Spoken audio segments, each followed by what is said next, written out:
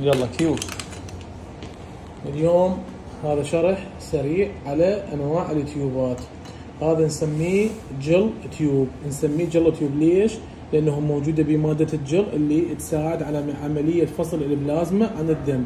هذا نستخدمه بالفحوصات السيرولوجية والفحوصات الكيميائية بكل أنواعها لأنه نحتاج إلى آه، سيرم لإجراء الفحص.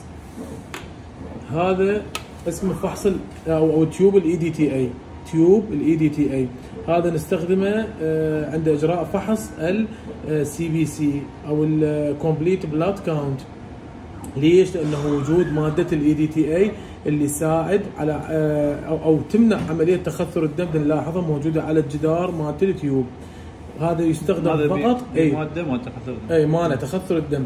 آه، راح نستخدمه